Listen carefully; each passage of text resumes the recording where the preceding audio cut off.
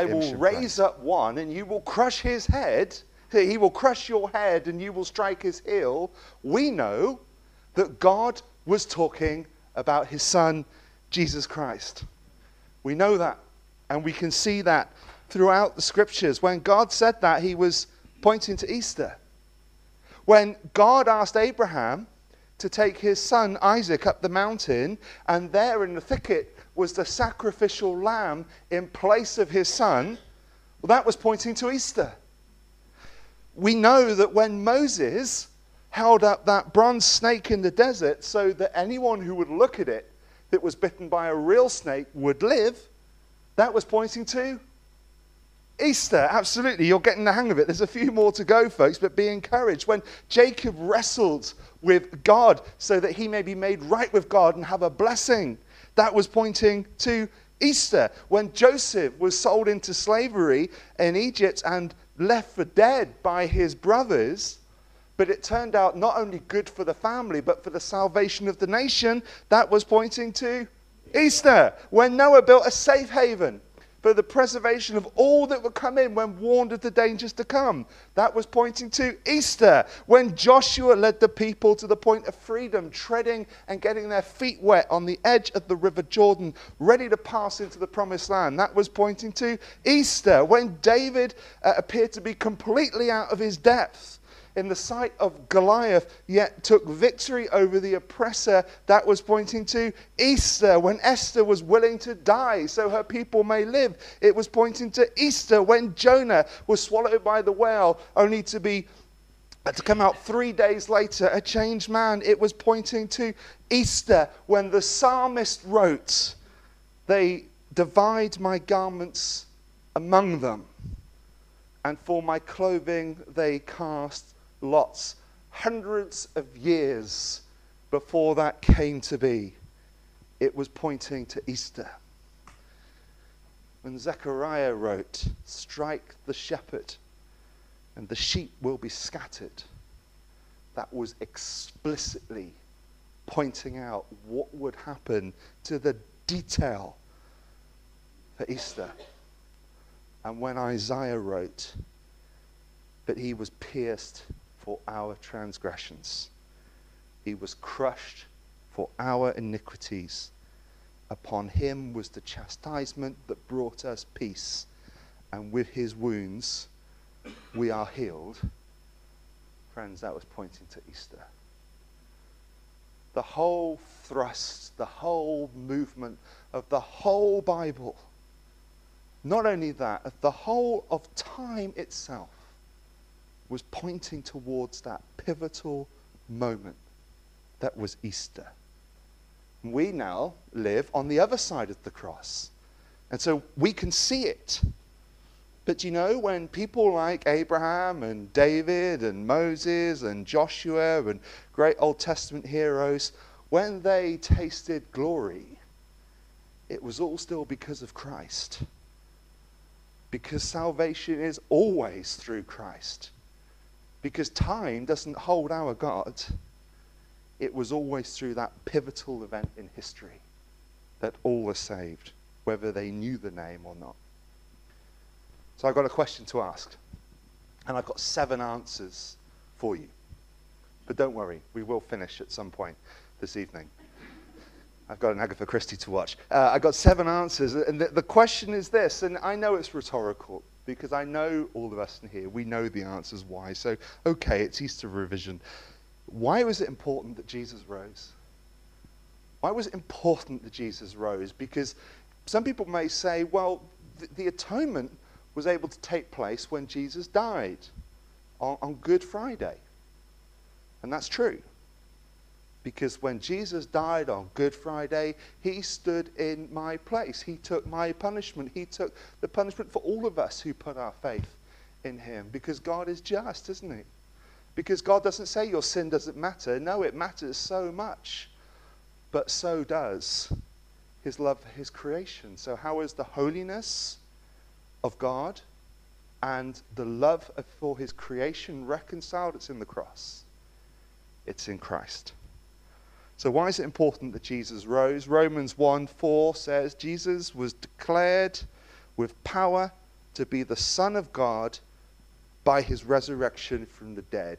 Number one, it proves he really is the Son of God.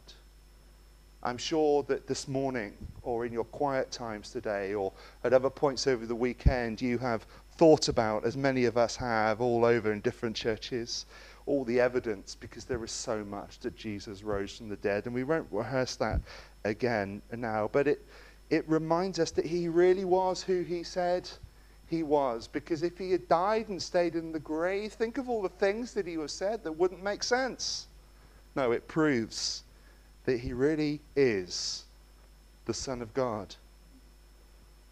What about a second answer for you? Acts 24, verse 4 says, But God raised him from the dead, freeing him from the agony of death, because it was impossible for death to keep its hold on him. Number two, it proves he really has overcome death.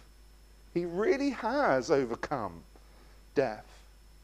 The author G.K. Chesterton famously said, See with what peace the Christian can die. I love that quote. I probably said it here before. See with what peace the Christian can die. And why can so many people of faith in Christ face death with such peace and assurance? Because Jesus has overcome it, friends. The grave could not hold him. And so we know that when we look, in our, look at our Savior, it's not an abstract idea, but it's the reality of the resurrection. He proves he was really the Son of God. It proves he has really overcome death. What about a third answer? Romans 4:25 says he was delivered over to death for our sins and he was raised to life for our justification. Number 3, it proves he really did die for our sins.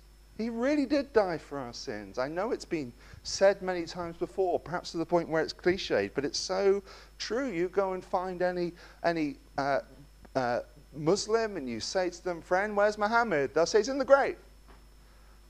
Go and find any any good you know Jew that's really really committed to their faith, going to synagogue, obeying the law, and so on, and say, friends, where is Abraham? He's in the grave.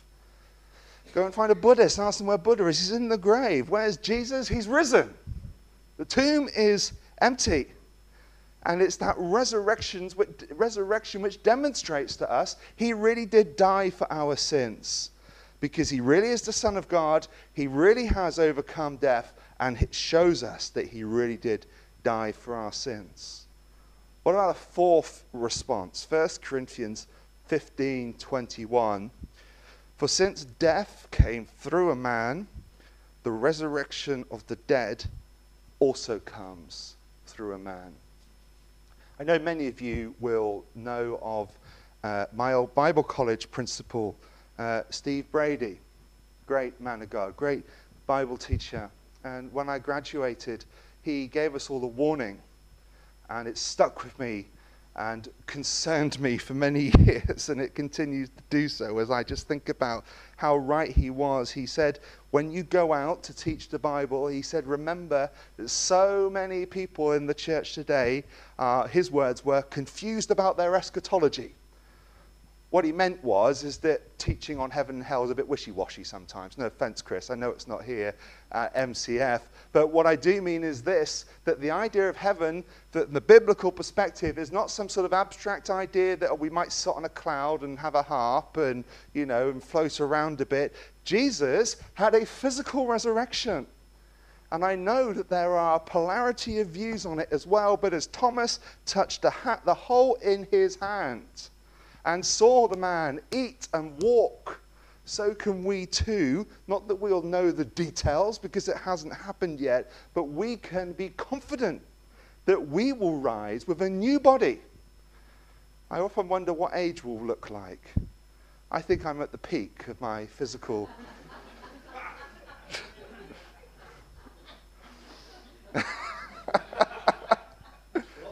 You, are, you are mean. You are really, really mean. We're going to spend three days on Exmoor together, remember? So,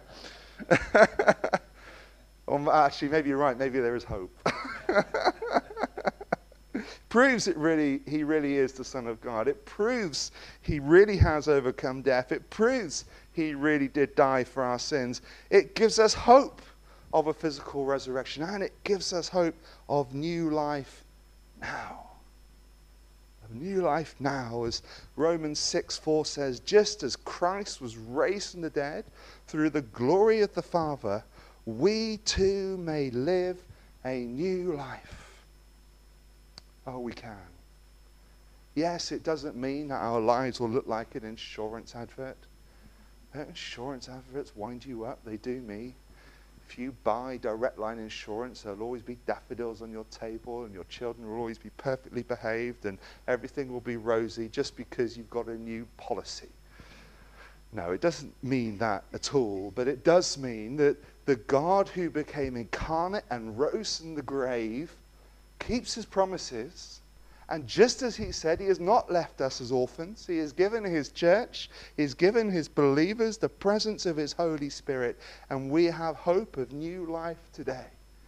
Yes, we are pressing on. Yes, we are on a journey, a pilgrimage, whatever word we tend to use. Yes, we hope to see growth in our spiritual life. And I hope to be a greater man in the future than I am today, and so on, in the Word and in the Lord, and so on. And you'll understand how I mean that. We pray that for all of us, don't we? That's why we invest in our spiritual life. But we have hope for today. Why? Because the power that raised Christ from the dead can be incarnate in us by his Holy Spirit as we live to walk in his will daily. It proves he really is the Son of God. It proves he really has overcome death. It proves he really did die for our sins. It gives us hope of physical resurrection. It gives us hope of new life now. And penultimately, it gives us confidence that he is still reigning now. Hebrews 1:11 says, "Your throne O God, will last forever and ever. I'm sure every generation would say that the news that they hear in the outside world is dire. Perhaps we just hear more of it these days, I don't know. My watch seems to vibrate far too often with some breaking news. Normally it's pretty mundane, but sometimes it's pretty dire too. But Jesus said it would be like this. Not the smartwatches, that is, but Jesus did say it would be like that. Jesus said things like, The poor you always have among you. Didn't say that was a good thing, but he did say that's the way it will be, at least in this age, although not in the age to come, friends. Because there are no poor in heaven. No, they're not at all. But it gives us confidence that he is still reigning now because Jesus, who we call Lord of Lords and King of Kings, is not in a grave. David's in a grave. We all know David's in a grave, as is Solomon, as is Saul, thankfully. You know, but Jesus is not. He is alive. So it gives us confidence. It proves that he really is the Son of God. It proves he has overcome death. It proves he really did die for our sins. It gives us hope for physical resurrection. It gives us hope of new life now. It gives us confidence that he is still reigning now. And then finally, it gives us joy as we live every day with Jesus. It's been my privilege this weekend to have spoken so often. I had the privilege of speaking at the Summits and Churches Together Good Friday service, and of course this morning at St. Clair's, my home church, and with you this evening. And this opportunity again to share that joy. It's a joyous day, isn't it? I hope you felt that. I know you will have done here at MCF. But that resurrection joy is not just for today.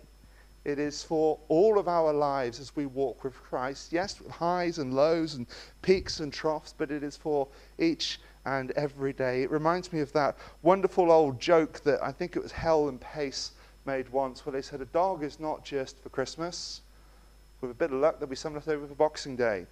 but your joy is not just for today. With a bit of luck, there'll be more than a left, bit left over for Easter Monday and into the week to come. Why was it important that Jesus rose? Well, if you haven't picked it up already, it gives us proof of he is who he said he was. He is who he is.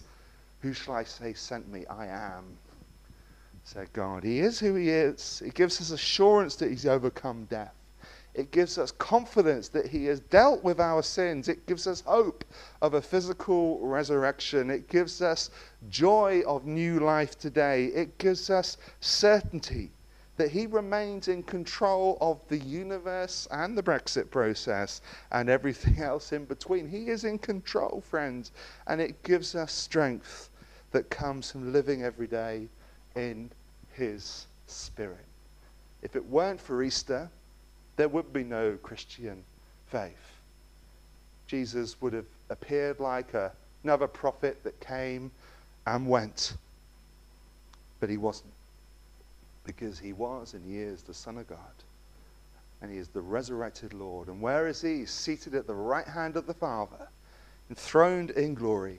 He has not left us as orphans. We have our spirit, his spirit with us today because he loves his church. And one day we will be united with him. But in the meantime, that resurrection power that rose him from the grave is available for us to live in today, whether it feels like Maundy Thursday in our lives or whether it feels like Easter Sunday.